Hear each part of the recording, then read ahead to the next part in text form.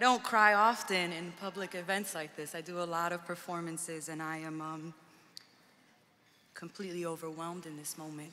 Um, I want to give thanks to my agent, Joan Paquette, who in 2012 let someone who had no manuscript reach out to her and say like, here are 10 pages of a thing that might be a thing.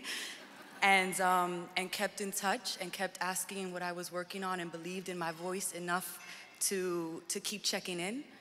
I want to give thanks to my editor, Rosemary Brosnan, who is the most incredible editor I could have imagined having, um, who saw this story and didn't make me other myself when writing it, who let me use the language that was authentic to what I needed to say, and who stands behind me on every decision of Rosemary, I get that some folks might not understand this, but it's how it has to be told.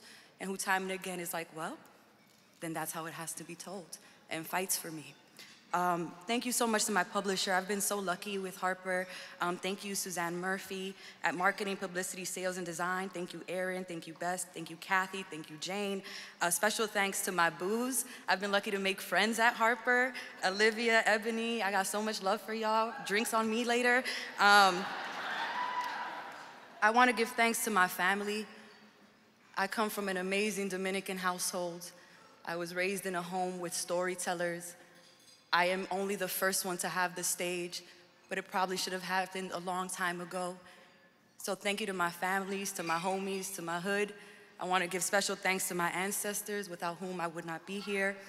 Special thanks to my husband, Shakir, who when I was an eighth grade English teacher was like, ah, I might write a young adult novel instead. And he was like, all right, cool, word.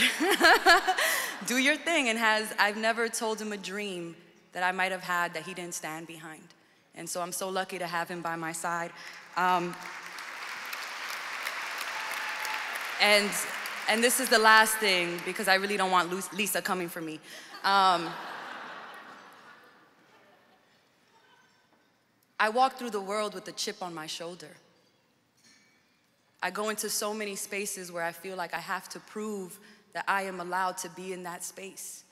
As the child of immigrants, as a black woman, as a Latina, as someone whose accented voice holds certain neighborhoods, whose body holds certain stories, I always feel like I have to prove that I am worthy enough. And there will never be an award or an accolade that will take that away. That is how I walk through the world. But every single time I meet a reader who looks at me and says, I have never seen my story until I read yours. I am reminded of why this matters and that it's not gonna be an award and it's not gonna be an accolade, but it's gonna be looking someone in the face and saying, I see you. And in return, being told that I am seen. And so, thank you so much to the readers who time and again remind me why I took this leap, why it matters, and why books matter. Thank you.